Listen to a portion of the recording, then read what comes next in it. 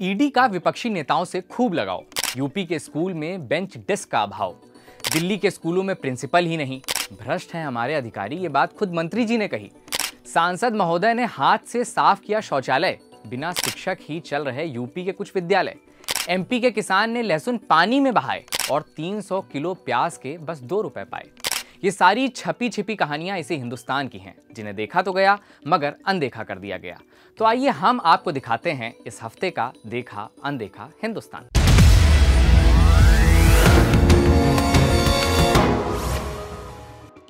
नमस्कार, मैं मुकुल सिंह चौहान। देखे अनदेखे हिंदुस्तान के सफ़र की शुरुआत पढ़ेगा इंडिया, तभी तो बढ़ेगा इंडिया के स्लोगन से करते हैं।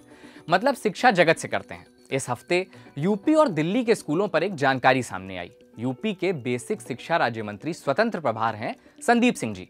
उन्होंने दो जानकारियाँ दी। जानकारी नंबर एक, कि यूपी में बेसिक शिक्षा परिषद द्वारा कुल सत्तासी प्राथमिक विद्यालय संचालित हैं, जिनमें से मात्र सत्रह प्राथमिक विद्यालयों में बच्चों के बैठने के लिए बेंच और डेस्क उपलब्ध हैं।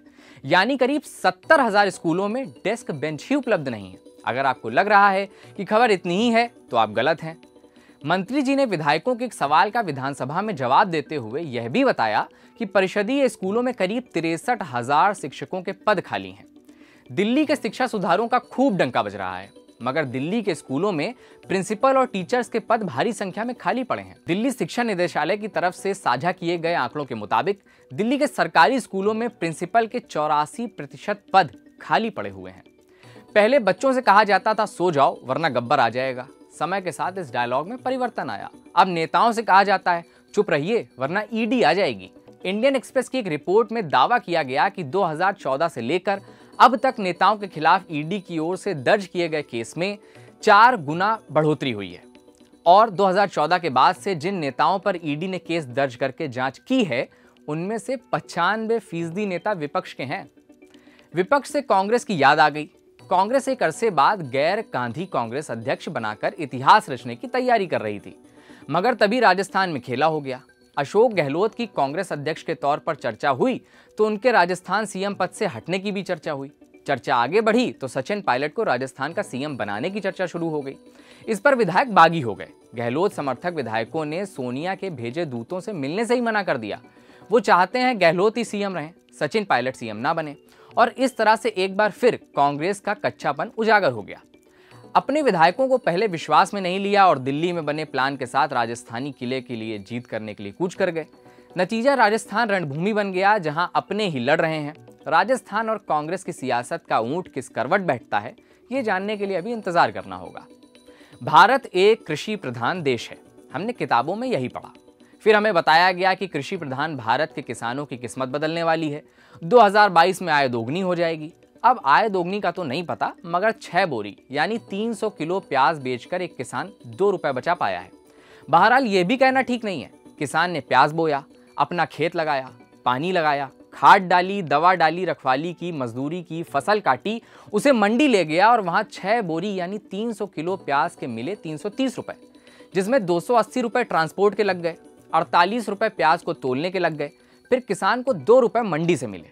इतने में तो किसान मंडी से वापस घर भी नहीं लौट पाएगा। मामला शाजापुर एमपी का है।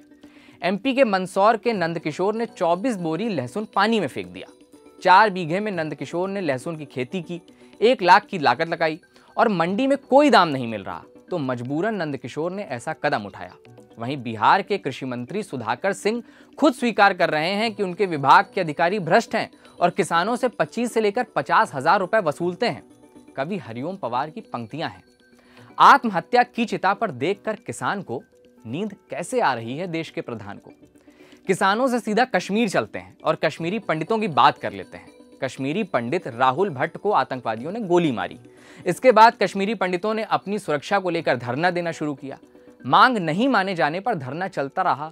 अब जम्मू कश्मीर प्रशासन ने हड़ताल कर रहे कश्मीरी पंडित कर्मचारियों का वेतन रोकने का आदेश जारी कर दिया है।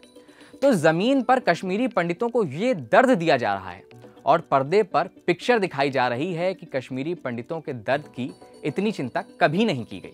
कश्मीरी पंडितों के बाद अब आपको स्वच्छ भारत अभियान का एक दृश्य दिखाते हैं। हाथ से शौचालय साफ़ कर रहे ये महोदय माननीय सांसद जनार्दन मिश्र हैं। मोदी जी के जन्मदिन के अवसर पर बालिका विद्यालय गए थे। महोदय का शौचालय गंदा दिखा तो बस माननीय ने हाथ से उसकी सफ़ाई करनी शुरू कर दी। माननीय के इस सफ़ाई अभियान पर विचित्र प्रतिक्रियाएँ सामने आ रही हैं। एमपी के मुख्यमंत्री शिवराज सिंह चौहान ने नायक फ़िल्म के अनिल कपूर की तरह डिंडोरी में उज्ज्वला योजना के तहत कार्ड बनाने में लापरवाही करने के मामले में डीएसओ टीकाराम अहिरवार को मंच से सस्पेंड कर दिया। उन्होंने कहा कि गड़बड़ करने वालों को मैं नहीं छोड़ूँगा। उन पर कड़ी कार्रवाई की जाएगी। जनवरी लास्ट में सीएस सर ने बैठक ली थी सर जनवरी लास्ट से अब हो गया सितंबर। ये तो पहले के अभी सत्तर हज़ार का पूछा सत्तर में से तीस ही क्यों बनी? सब क्यों नहीं बनी? अरे चल कब तक चलेगा भाई?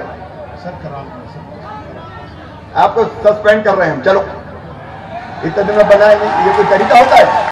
लेकिन मुझे डर है इस फिल्मी नायक स्टाइल से सुर्खियाँ अच्छी बनेंगी। सिस्टम तो नहीं सुधरता दिखता।